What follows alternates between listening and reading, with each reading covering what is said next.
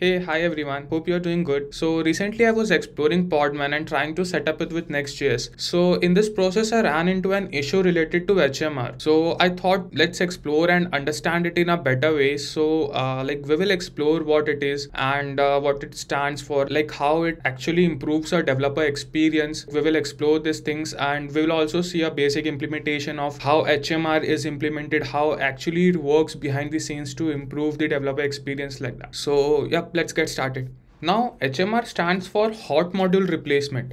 So it is a powerful feature that allows developers to update modules in the browser without requiring a full page refresh. Now this significantly speeds up the development process by providing instantaneous feedback on code changes. Now understanding how HMR works under the hood can help developers leverage its capabilities effectively. Now let's first understand the basic process flow. Now Next.js utilizes Webpack, a popular module bundler. Like for bundling JavaScript files and other assets, Webpack plays a crucial role in enabling HMR by providing the necessary infrastructure for monitoring changes in modules and applying updates in real time. Next comes WebSocket. So now how actually communication takes place between client and server. So it is actually with respect to WebSocket. So HMR relies on a WebSocket communication between the client and the server. When a file changes, the development server emits a signal to connected clients via WebSocket, indicating that a new version of the module is available. Now third is the update strategy. Upon receiving the signal from the server, the client determines which modules have been updated and applies the changes accordingly. Now Next.js employs a smart update strategy to ensure that only the affected modules are replaced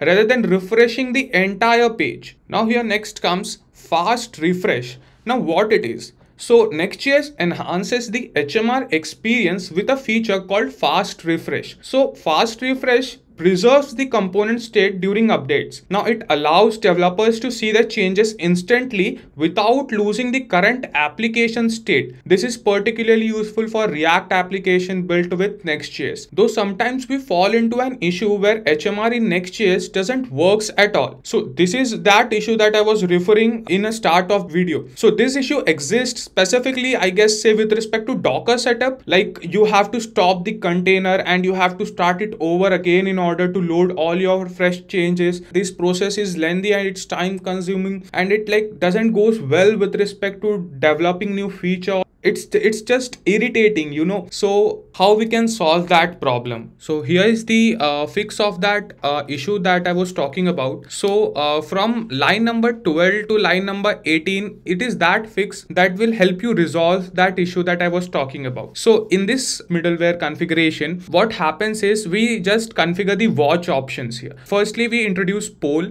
It checks for changes every second. So that particular value is configurable as per your need need. And second comes here the aggregator timeout. It is that delay before rebuilding. Say suppose from 0 to 1000 ms it will wait for you uh, like to make any kind of changes. So once all that changes are done it will pick all the changes at once and it will build together. Next comes customization. Developers can customize the behavior of hmr to suit the specific requirements. Next.js provides hooks and apis that enable fine-grained control over module reloading and update handling. This flexibility allows developers to tailor the HMR experience to their workflow preferences. Now, come on, let's take a look into a typical HMR workflow. Okay, so let's move to the code editor again. So here are we now let's understand what things are there which like actually helps us implementing a hmr feature for our application so here uh, firstly i will tell that app.use so this is an basic Express.js method used to mount middleware functions on the specified paths. Okay, so these functions can perform tasks, modify request and response objects, and the request response cycle, or let's say call the next middleware function in the stack. Okay,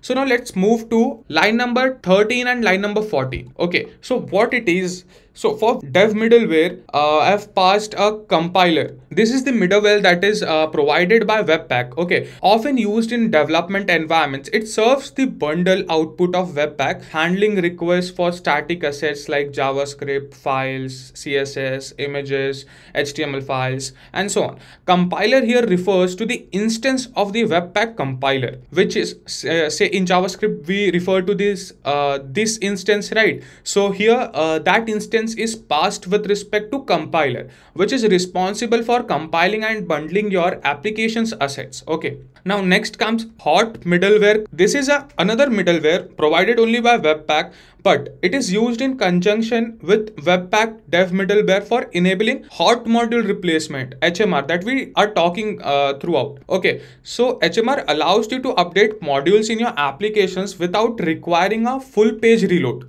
Okay, making the development process faster and more efficient. Like you don't have to reload again and again or follow that typical process of uh, starting and shopping that container. It like provides that functionality to you. Okay so that configurations helps you to achieve that. So compiler here refers to webpack compiler instance only this helps us enable HMR globally and this is the specific uh, public path and uh, we have set a entry point here in our index.js and for configuring our HMR on client which can like interact from client to server and from server to client like for that uh, interaction we have added HMR uh, client to connect to the server as well.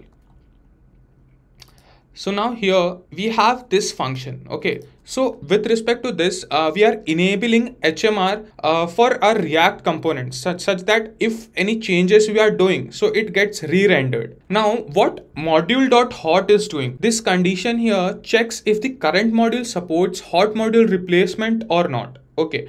So when Webpack HMR feature is enabled, it injects a module.hot object into the module's scope to facilitate like hot module replacement HMR. Okay. Now module.hot.accept. So it has some util functions within it like decline, accept. Uh, I have uh, left over one console log. We'll move to the browser and then we'll take a look on that as well. But before that, I will explain you what dot accept is. Okay. Module dot hot is available. Suppose that condition passed. Okay. So this method is called to indicate that the module should accept updates when a module changes Webpack will attempt to replace it in the running application without requiring a full page reload. Okay, so here module.hot.accept is typically called without arguments, indicating that the module accepts updates for any dependencies it imports. Let's move to browser and take a look what uh, util functions are available in module.hot now we are in browser so here this all are the util functions uh, that you can explore over so now here when i try to make any update say suppose here we uh, write update and when we'll move back to browser here that change is visible to us here next comes performance so while hmr offers significant productivity benefits during development, it's essential to consider its performance. Excessive usage of HMR, especially with large code base, can impact build times and overall development experience. Okay, developers should strike a balance between leveraging HMR for rapid iterations and optimizing build performance. Okay, so that's all for HMR that I have to share with you. But wait, I also have a great thing for you. I've written a blog on understanding memory leaks in Angular, a concise guide. So in case you would like to take a look, the link is in description and thanks for listening. और चलो मिलता है फिर bye bye